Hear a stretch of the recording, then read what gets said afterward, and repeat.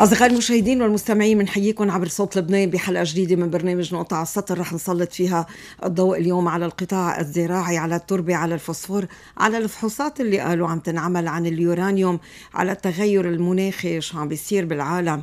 يعني في شيء بإيدنا وفي شيء بإيد طبعا القوى الدولية آه، اليوم والتعديات على البيئة والطبيعة والارتداداتها على صحة البشر. بدنا نحكي عن كلية الزراعة بالجامعة اللبنانية وضيوفنا اليوم البروفيسورة نادين نصيف داغر عميدة كلية الزراعة بالجامعة اللبنانية.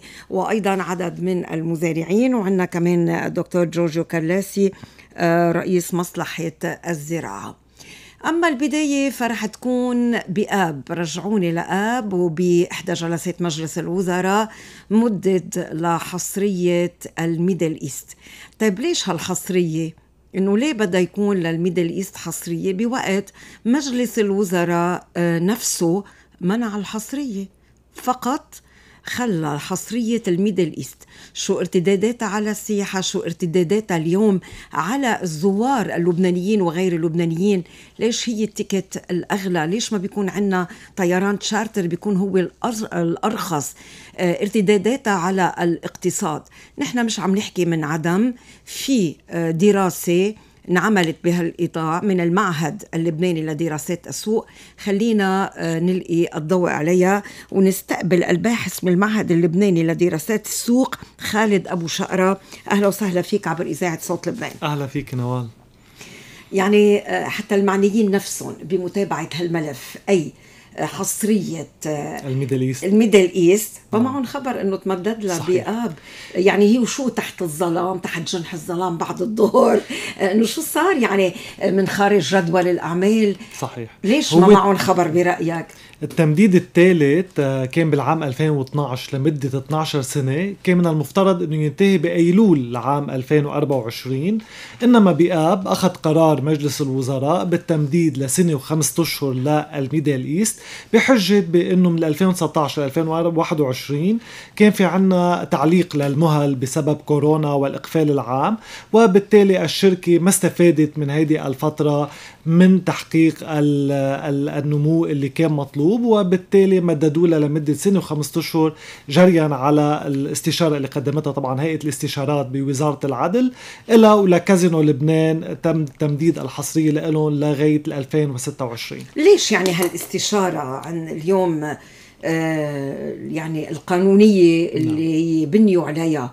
يعني وين القطب المخفية بهالإطار؟ وهل صحيح لازم يتمدد لحصرية شركة طيران الشرق الأوسط بلبنان؟ بالمبدأ لا. بالمبدأ مش مفروض يكون في حصرية لأي شركة بلبنان أو لأي قطاع بشكل بشكل عام. حتى إنه اتفاقيات الحصرية آه، مش بس بتتعارض مع آه، مع مجلس النواب مع قانون رفع الحصرية اللي أقره مجلس النواب إنما بتتعارض أيضا مع الاتفاقيات ومنها المادة 36 مع الاتحاد الأوروبي بإنه مش مفروض نحن يكون في عنا وكالات حصرية.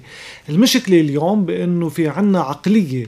هيدي العقلية هي ما بين سياسية ما بين اقتصادية ما بين تركيبة غريبة بهذا البلد بتخلي إنه نحن بنشدد على الحصرية مش بس بالميدل إيست بالكازينو أيضا آه، بالكهرباء آه، بالاتصالات عندنا هذا الاحتكار العام لمرافق أساسية مفروض تفتح على المنافسة لسببين لتخفيض الكلفة من جهة وتحسين جودة الخدمات من جهة ثانية ليش نحن عم نحكي اليوم يعني عن حصرية الميدل إيست؟ هي وحدة بالساحة هل يجب أن تقف الميدل إيست وحيدة بالحرب وتستحوذ على الحصة السوقية الأكبر في زمن السلم يعني اليوم فس عنا طيران هلا رح يقولوا إنه آه، إنه لما آه، بتحز المحزوزية يعني صحيح. بزمن الحرب ما قلنا إلا صحيح. آه، طيران الشرق الأوسط طبعا. وكل يعني طيران الدول اللي بتجي على لبنان صحيح.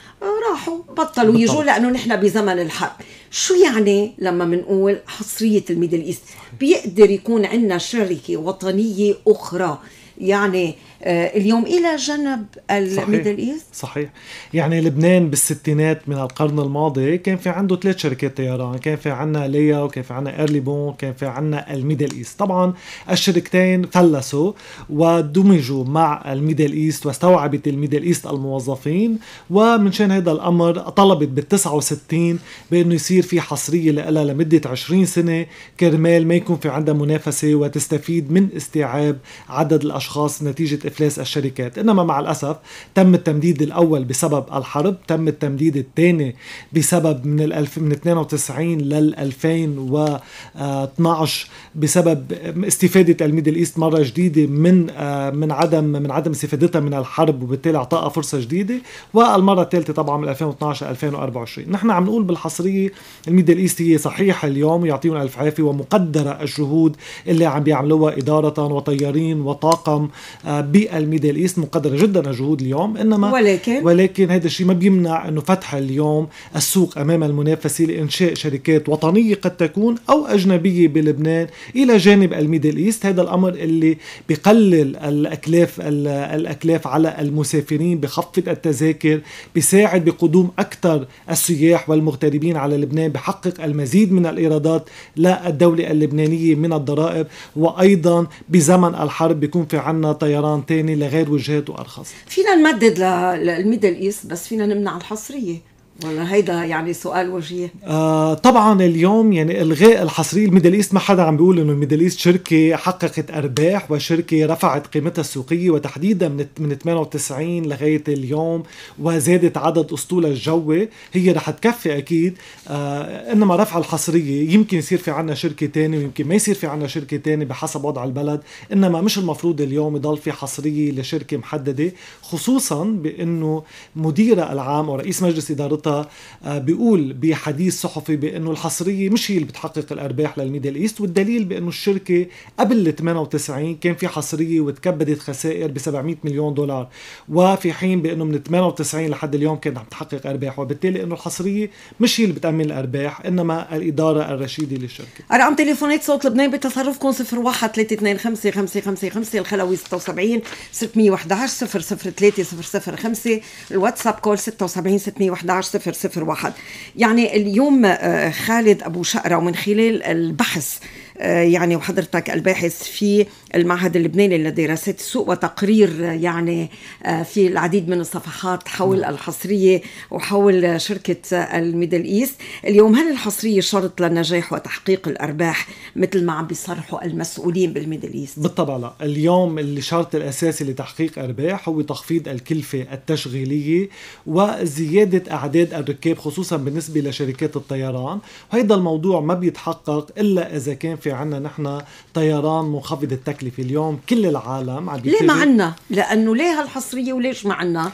بيت القصيد. بيت القصيد بأنه اليوم هيدي الشركات برأيي بيستفيدوا منا السياسيين بالتوظيف السياسي وبالتالي كل ما نحن زدنا عدد أعداد الموظفين بالشركات كل ما ارتفعت الكلفة التشغيلية من ناحية.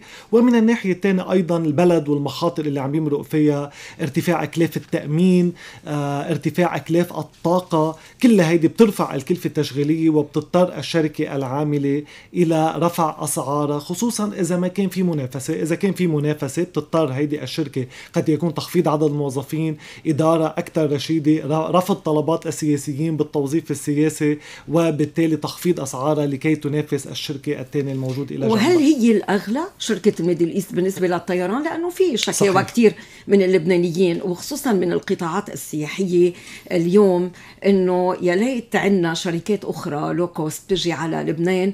كان بيجي أكثر مغتربين. اليوم في كثير العديد من اللبنانيين مش عم يجوا صح. لأنه ال ticket غالي يعني دخول شركات جديدة سيؤدي إلى آه، انخفاض أسعار التذاكر وتوسيع الخيارات المتاحة قدام المسافرين وزيادة حركتهم وتنشيط القطاعات الأخرى بيقولوا لنا عم تحكوا هالشيء بزمن آه، الحرب, الحرب. معلش نحن حكيناه بزمن السلم صحيح. وهلا عم نحكيه بزمن الحرب الشركة الوحيدة يعني اليوم الحاكمة بامرها اللبنانيين بدهم يجوا لازم يدفعوا آه، يعني ال ticket وأسعار غالية واللي بدهم آه، كمان يسافروا من لبنان إلى الخارج ليحجزوا مطار حتى يسافروا يعني منا بالسهوله وال ticket الأغلى.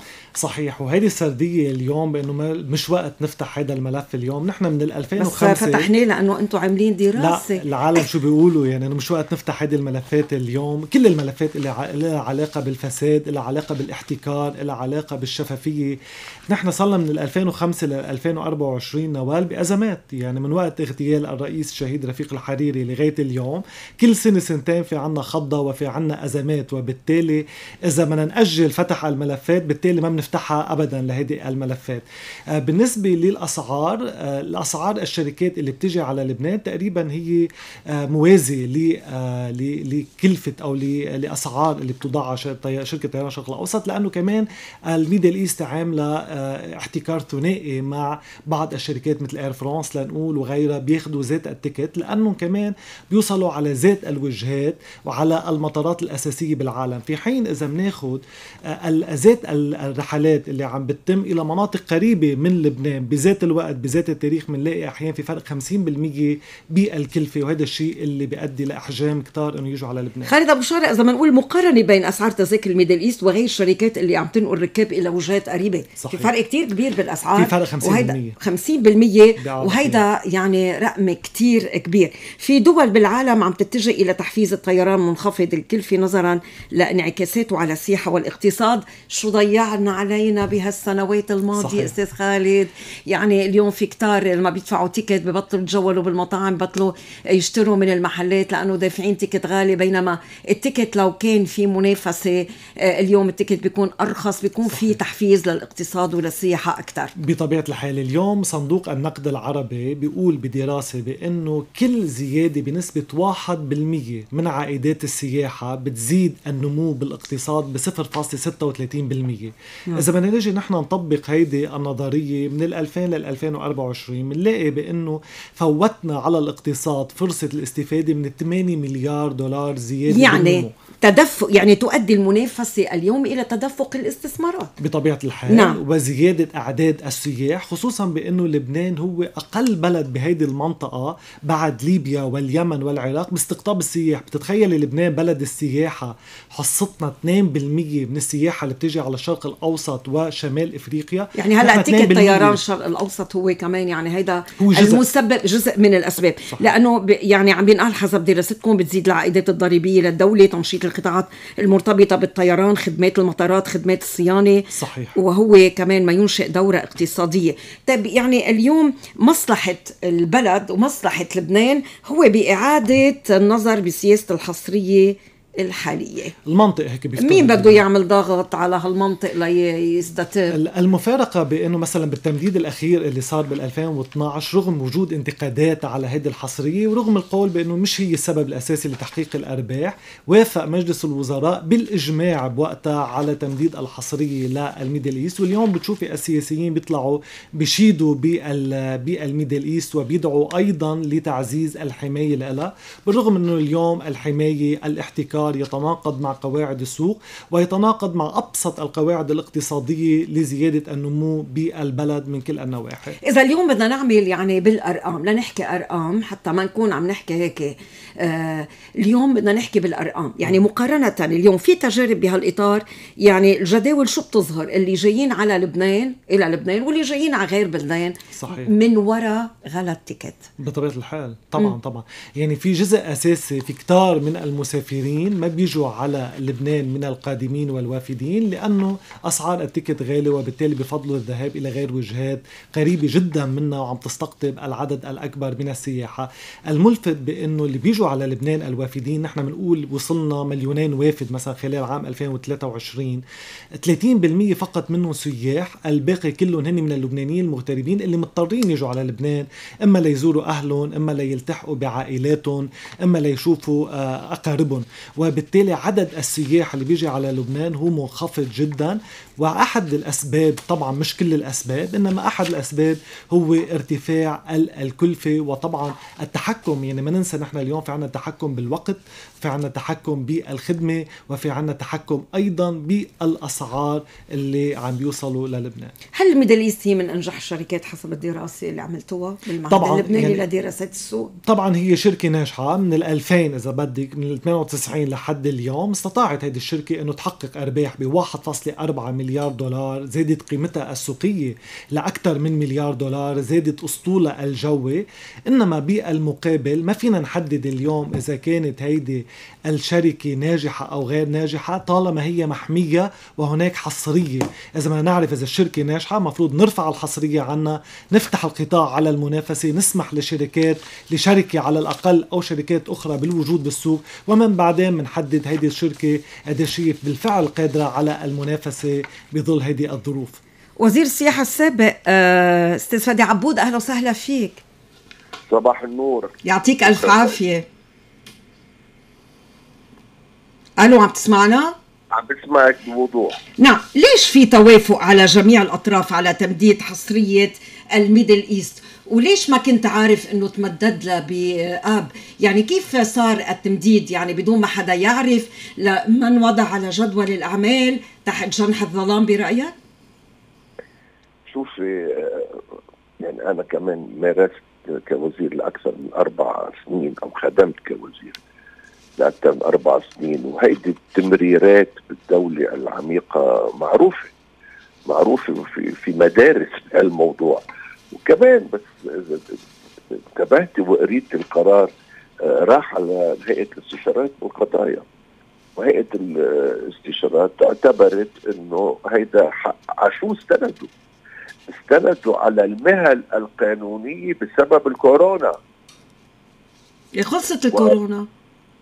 إنه هو صار في مهل إيه. بموضوع الكورونا إنه يجددوا جددوا للكازينو كمان.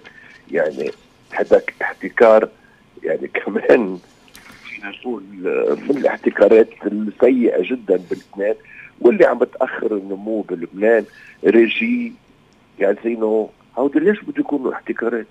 ليش بده يكون؟ شركة طيران ليش بدها تكون احتكار؟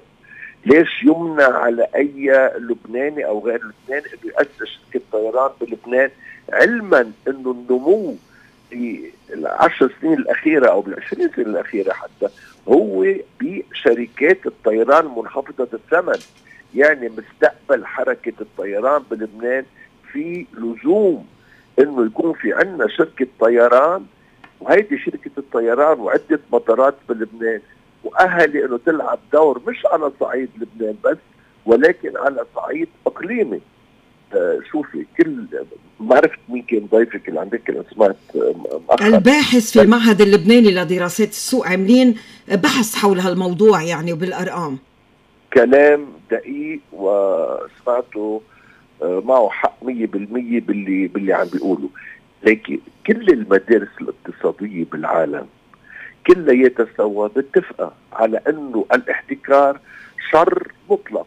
إن كنا عم نحكي بالمدارس الرأسمالية أو المدارس الاشتراكيه الاحتكار بأخر النمو الاحتكار بيعطيك خدمات سيئة وإحدى الأسباب الموجبة اسمعي اسمعي والخلي المستمعين يسمعوا. الأسباب الموجبة إنه شركة طيران الشرق الأوسط ما طلبت مساعدة من الحكومة مثل عدة شركات بالعالم. عدة شركات بالعالم اللي طلبت مساعدة حكومية هيدي معرضه للتنافس. هي ما عندها احتكار ممنوع أي شركة ثانية ببلدها تنشأ. ف يعني بس دسرنا يعني معالي الوزير دسرنا بنحكي بهالموضوع. ليش ما قدرنا غيرنا؟ ليه ما بنشوف يعني بنسمع أصوات معارضة؟ ليش كلهم بف يعني ببرهنين إنه هن موافقين على تمديد حصرية شركة الطيران الشرق الأوسط؟ ليش ما بيصير في عنا مطار تاني؟ ليه ما بيصير في عنا شركات تاني؟ يعني وين القطبة المخفية وبتقولها مثل ما هي؟ ليك مثل ما هي. نرجع على الدولة العميقة ونرجع على المستفيدين من الاحتكارات. نعم. طيب شركة طيران الشرق الأوسط احتكار؟ ماذا عن الضمان الاجتماعي؟ الضمان الاجتماعي صار مكسور ثلاث مرات. نعم. الضمان الاجتماعي بيستفيد منه حوالي المليون لبناني. ليش هيدا الاحتكار؟ ليش ما الإنسان العامل الموظف ما له حق هو يختار وين بده يضمن نفسه. ليش مجبورين إنه بس يروح على الضمان الاجتماعي؟ مؤسسه صارت مكسورة ثلاث مرات. كازينو. يا أختي كازينو ليش بده يكون في احتكار نحن بهالمنطقة بالمشرق البلد الوحيد اللي فيه كازينويات البلد العربي الوحيد فيه كازينويات. شوفي قبرص وين صارت وشو عم بيصير بالإمارات؟ ونحن بعدنا بنحكي باحتكار كازينو واحد. شو منين جاية هيدي القصص؟ توارثناها من أيام الفرنسيين.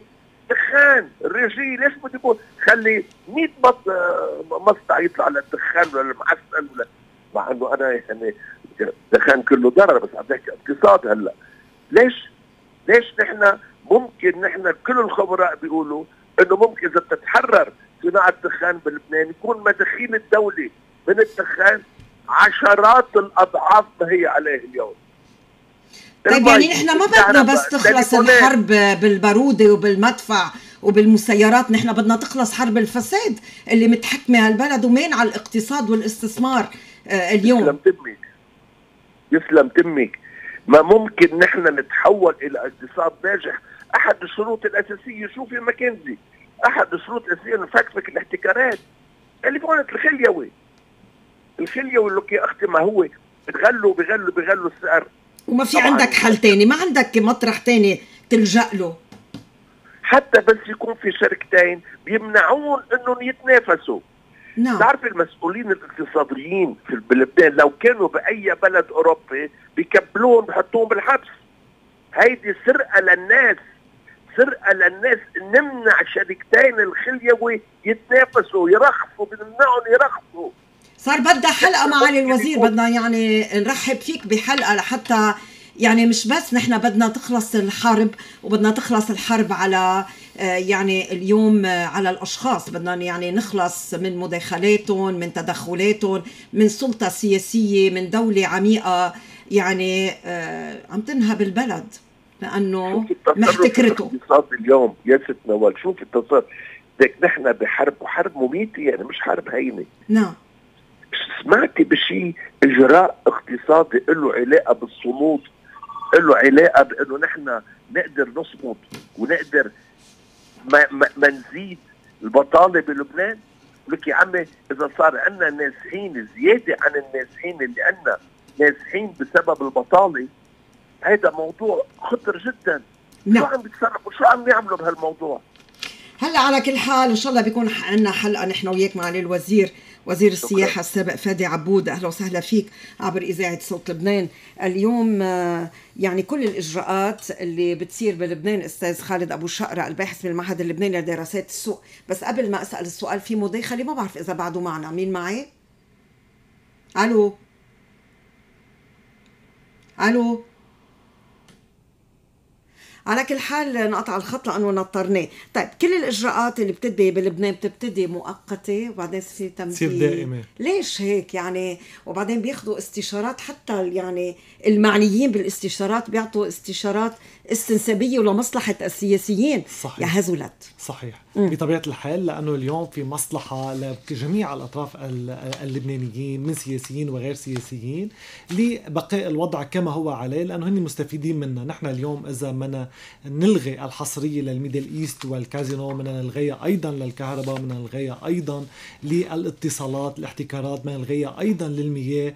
وطبعا هيدي المؤسسات هي بتشكل الحديقة الخلفية للتوظيف السياسي والتوظيف السياسي بيؤدي فيما بعد إلى الانتخابات ووصولهم إلى مجالس النواب وبالتالي هن كلهم مستفيدين من هيدي التركيبة. نعم مرة جديدة يعني فوت تمديد القابل للتجديد حسب بعد 55 سنة, سنة من إعطاء الميدل إيست حق حصري باستثمار النقل الجوي النظامي آه، بموجب بموجب مرسوم اشتراعي نعم. رقمه 28 فرص تحقيق التنوع والخيارات وفتح القطاع على المنافسة وآخر هم يعني للقطاع السياحي ولا الاستثمار بالاقتصاد ولا قدوم المغتربين إلى لبنان ولا التخفيف عن كاهل وجيبة المواطن اللبناني. نحن بيوم من الأيام كان في عنا حلم انه نكبر المطار ونجيب 10 مليون سائح على لبنان. بتعرفي نعم. نوال سنه الماضي يعني بال 2023 شدنا تدفق شوية سياح ومغتربين على البلد. رجع انفتح 400 مؤسسة مطعمية رجعنا ساهمنا بخلق 30 35 ألف فرصة عمل مش بس بالسياحة بالقطاعات الرديفة لها بالزراعة الغذائية بالتصنيع الغذائي وإلى ما هنالك. بالتالي اليوم نحن يجب أن يكون همنا الأساسي هو تكبير حجم الاقتصاد وزيادة عدد السياح إلى البلد. وهذا الشيء ما بيتحقق طالما هناك حصرية وإحتكار إيه بس طلع الرئيس دولة الرئيس نبيه بري بجلسة مجلس نواب آه، قال 2022 صح. اقتراح إلغاء حماية الدولة للوكالات للوكالات الحصرية بمادة وحيدة وإنه ما في بلد بالعالم عنده حصرية. وليه خلوا يعني عنا؟ لأنه عدد من المرافق يعني. اعطوها الحصريه وما تدخلوا فيها لأنه إذا بهيدا القانون قانون رفع الوكالات الحصرية وبكل القوانين نحن بنوضعه على الورق وبنطبقه على الأرض نعم. وإذا بدنا نيجي نطبقه على الأرض ما بنحط له المراسيم التطبيقية وبيكون ناقص وبالتالي لكي تبقى الأمور مثل ما هي عليه وفقط لكي إرضاء المجتمع الدولي إنه نحن عم نحط قوانين إصلاحية لا أكثر ولا أقل الحل شو يعني شو التوصيات اللي طلعتوا فيها بالآخر؟ شو؟ التوصي- شو لازم يصير؟ مين لازم يضغط؟ مين لازم آه، يتدخل؟ هيئة التشريع ما كان لازم توافق برأيك؟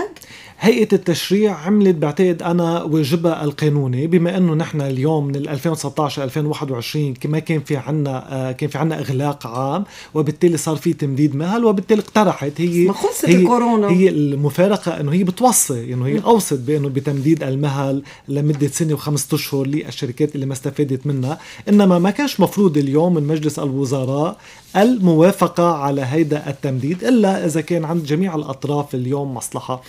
يعني خليني أقول نوال اليوم بأنه مصر عم بتقول بأنه 95% من السياح اللي بيجوا عليها هن بيجوا عبر الطيران الرخيص منخفض التكلفة اللي بيروحوا على تركيا على كل وجهات التركية بيروحوا عبر طيران منخفض التكلفة اليوم طيران منخفض التكلفة هو هدف للدول لتشجيع قدوم السياح إلى بلدانهم وتحديدا سياح المجموعات والجروبات وليس فقط النخب اللي بده يجي بطيران مرتفع التكلفة ويدفع أكثر في. يجي في نقي شركة اللي بده إياها مهم نحن يكون عندنا الخيار الآخر يكون عندنا. المنافسة. الخيار الآخر. نعم. بالأسعار وبالوجهات نعم. وبالتوقيت. على كل حال أنا بدي أشكرك بعد ما حكينا عن المطار كمان يعني قصة ثانية قصة تانية وبدها حلقة. عنا مطار واحد وحاكم يعني الحاكم بأمره بهالبلد عم يعمل اللي بده إياه. على كل حال أنا بدي أشكرك آه، على أمل أنه عن جد تلغى الحصرية إن شاء الله بعد بدنا ننطر سنة وست شهور.